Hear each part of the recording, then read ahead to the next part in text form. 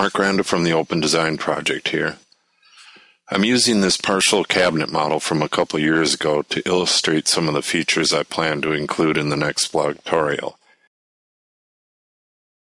Cabinet making automation with Autodesk Inventor.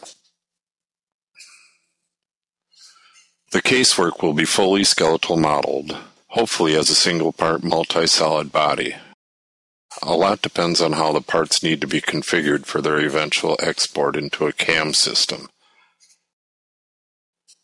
The first part in the browser is a skeleton. This will be the foundation of the model in a couple ways. It will be derived into many of the parts where it will control them in one way or another, and the casework will use its geometry and parameters directly. Other parts, those that are not project specific, will use the sketch box and parameters it contains only, but they will use the skeleton externally as positional rigging.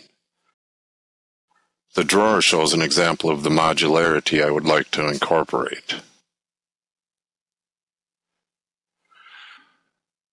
This model was created with Inventor 2010. Otherwise, I would have created a multi-tabbed form for all of this. But what you see is every option for a purchase dovetail drawer. This would allow a cabinet maker the flexibility to effortlessly outsource portions of a particular project if desired. I want to add simple ERP functionality to the model if at all possible as well. I have an idea as to how to go about it, but I'll need to refine my thoughts.